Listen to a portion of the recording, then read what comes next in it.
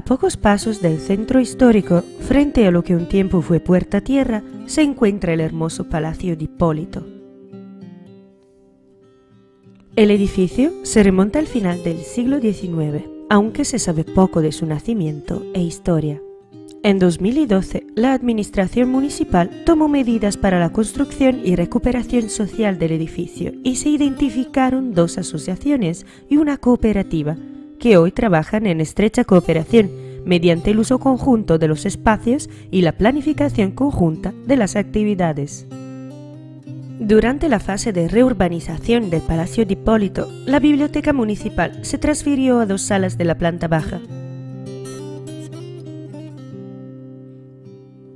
En el primer piso del Palacio de Hipólito se encuentra el Museo del Emigrante y una exposición fotográfica temática.